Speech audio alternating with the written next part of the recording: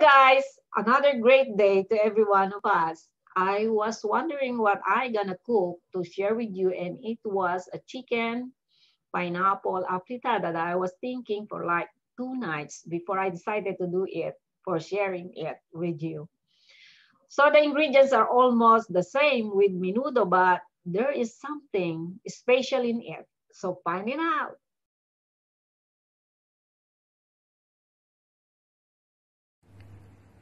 All right, here's the ingredients.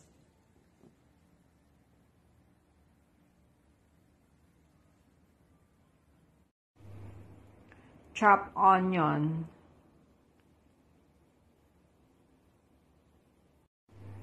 Tomato sauce.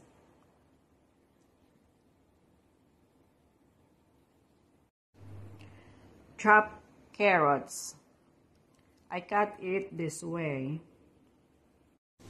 butter.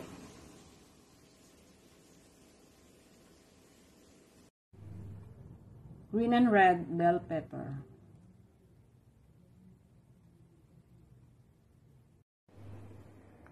Sausage. This one is optional. Other people they use uh, hot dog instead.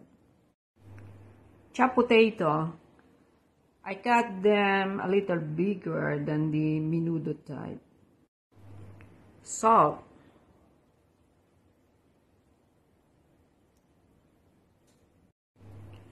Ground black pepper.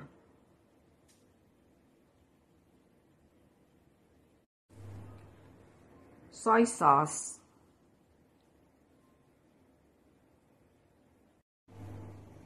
Pineapple chunks.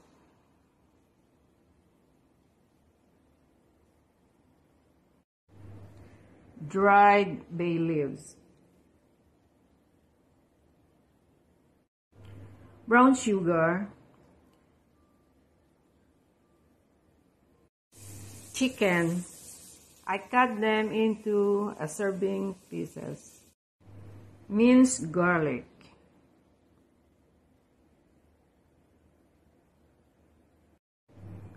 Oregano.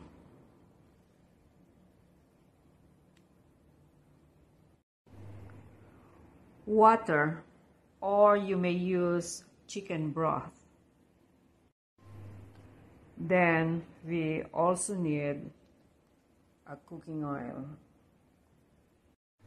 Make sure before you start that all the ingredients are reachable or near to the pot.